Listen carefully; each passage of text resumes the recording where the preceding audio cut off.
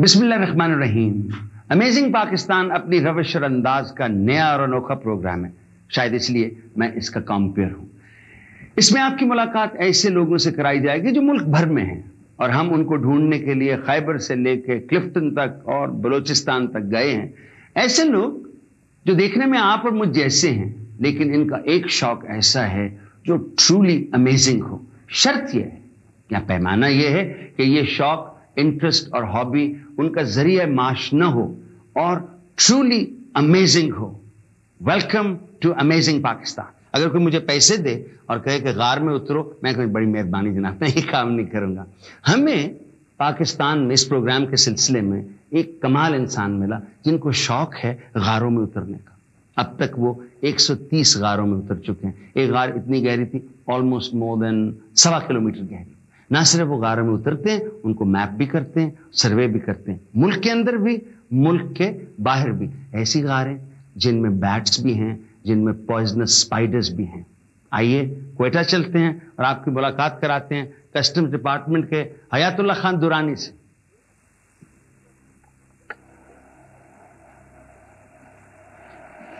मैं कोयटा में पैदा हुआ। इब्तदाई तालीम भी यहाँ कोयटा से हासिल की बलोचिस्तान यूनिवर्सिटी से एम सोशियोलॉजी की डिग्री ली वालिद जो बिजनेसमैन थे छुट्टी वाले दिन पहाड़ पे जाया करते थे उनके साथ ट्रेवलिंग हो जाती मुख्तलिफ़ इलाकों में जाते ये जो हमारे इस तरफ़ इर्द गिर्द कोयटा सिटी जहाँ पे मैं रह रहा हूँ यहाँ पर इस वक्त आबादी बहुत कम थी जब मैं बच्चा था उनके साथ जाता था हम लोग माशाल्लाह सात भाई है मुझसे बाकी सारे बड़े एक मुझसे छोटे तो वो भाई भी जाया करते थे अगर वालिद न जाते तो भाई मुझे ले जाते। तो इस तरह ऐसा ऐसा ये शौक डेवलप होता गया अपने बड़ों को देखकर। वालिद मरूम के दोस्त वो जाया करते थे, उनके बच्चे, जो मेरे दोस्त थे, हम लोगों की एक कंपनी बन गई, एक गैदरिंग बन गई। तो इस तरह ये शौक परवान चढ़ा, ये शौक डेवलप हुआ और फिर हमने जो हमारे दोस्त थे स्टूडेंट्स थे, हमने कहा कि जाते तो रहते हैं हम लोग। क्यों ना एक प्रॉपर तंजीम बनाई जाए, जो जज्बे के तहत जाए। फिर हमने चिल्तन एडवेंचर्स एसोसिएशन, बलूचिस्तान का क्याम अमल में लाया। First mountaineering association in Balochistan. Nineties में ब्रिटिश केविंग एसोसिएशन वाले थे। उन्होंने हमें कांटेक्ट किया। क्योंकि गजटियरा बलूचिस्तान में, उनको पता चला था कि एक दो केव हैं यहाँ पे। चाहे मेन मेड है या कुछ तो उन्होंने हमें कांटेक्ट किया कि आप हमारे साथ केविंग के फ़ील्ड में काम करें, क्योंकि हमें कोई और बंदा नज़र नहीं आ रहा है। और हमारे लिए बहुत मुश्किल है कि बलूचिस्तान के लोगों के बगैर हम बलूचिस्तान में कोई माउंटेनियरिंग या केव एक्सप्लोरेशन की एक्टिविटीज़ करें। तो उसमें सबसे जो पहला केव था, फिर गायब यहाँ पे बोलान में एक इलाका है। वहाँ पे हमें इंफॉर्मेशन मिली थी कि वहाँ पे केव है। इनके पास भी ये इंफॉर्मेशन थी। तो हम अपनी टीम के हमरा नाइन्टी वन में चले गए फिर गायब। उलान में, वहाँ पर जो केव था फ़र्स्ट टाइम हम केव में एंट्रेंस हुए।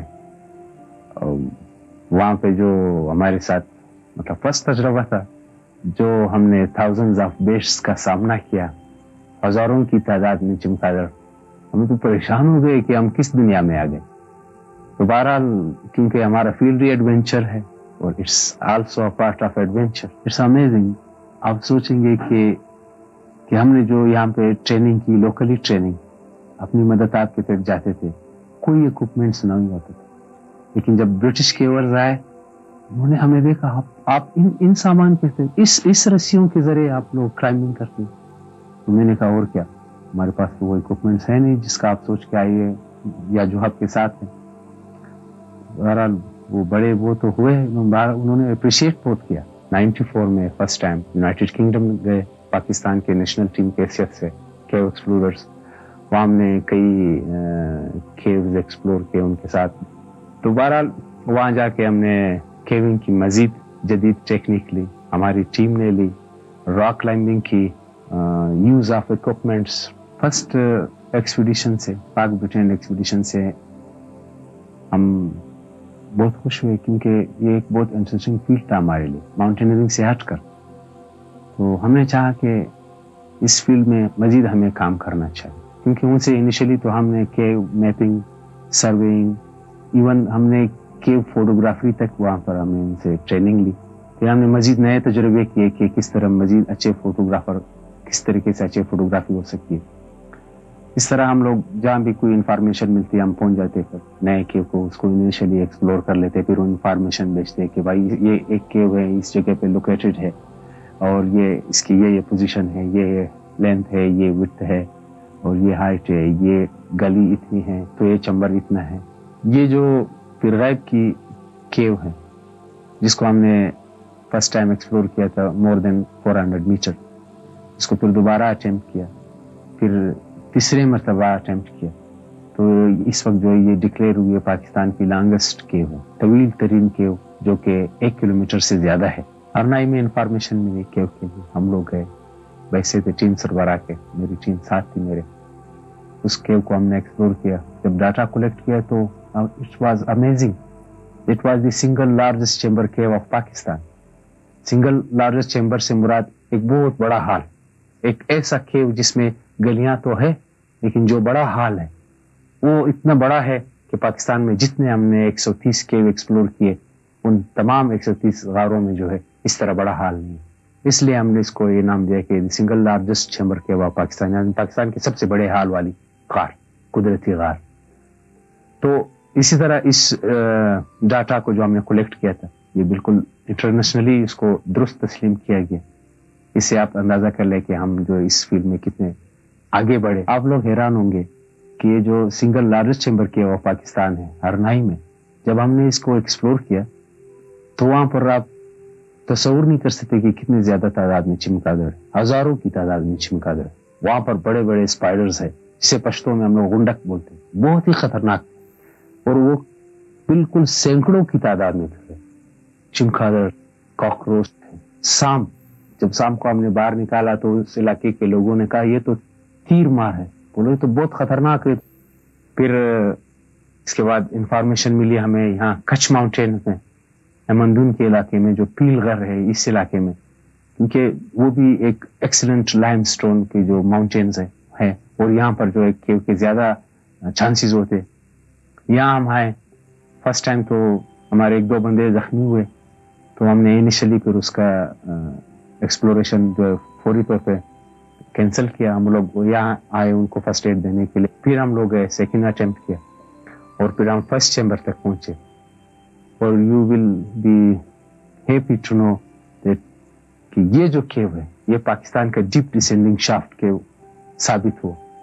और इसका हमने डाटा कलेक्ट किया कि ये तो पाकिस्तान का डीप डिसेंडिंग केव है। डीप डिसेंडिंग से मुराद वर्टिकल आप यानी कि कमरे के दरमियान से बिल्कुल उतर रहे हो। कोई सपोर्ट नहीं आपको चारों तरफ़। और आप इस तरह उतर रहे हो और आप जो है पचहत्तर मीटर और उसके बाद फिर पच्चीस मीटर मजीद।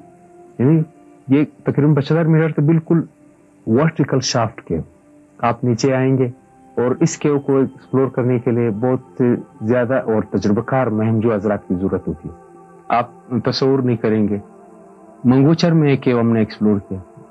खुद मैंने, मेरी टीम ने हम गए और उसको हमने कहा, ये तो नेचुरली डेकोरेटेड केव है। तो इतनी ज़्यादा खूबसूरत है और इस तरह सजाया गया है इसको जैसे हम लोग, इंसान लोग किसी चीज़ को सजाती है अगर हमें कहते कि इसके को यहाँ पे इस तरह ये चीज़ें यहाँ यहाँ रखो, हम नहीं कर सकते थे। नेचुरली डेकोरेटेड इसलिए इसको नाम दिया गया कि खुदा पाक जल शाहू ने इसको सजाया है। कुदरती तौर पर इन कलमी मीनारों से ये मुजयन है।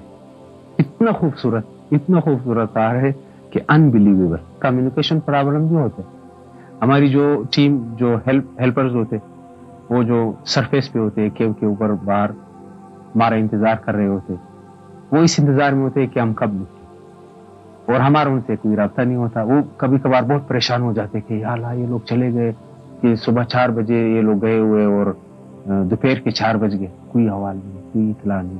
कहाँ गए ये लोग? तो उसके लिए कभी कभार हम जो है, एक दो तीन ग्रुप बना लेते तो अपनी खैरियत इसको बताते आवाज़ के ज़रिए। फिर वो उसको कम्युनिकेट करते फिर मजीद आगे तो इस तरह कम्युनिकेट हो जाता है कभी कभार लेकिन ये बहुत मुश्किल काम है और हमारे जो साथी ऊपर होते खुदा न खासा अगर हमारे साथ कोई हादसा पेश भी आ जाता है उन्हें क्या खबर कि हमारे साथ क्या हो रहा है? नाजीन अमेजिंग पाकिस्तान का आपने पहला एपिसोड देखा। उम्मीद है आपको पसंद आया हो याद चाहता हूँ। अल्लाह हाफिज़।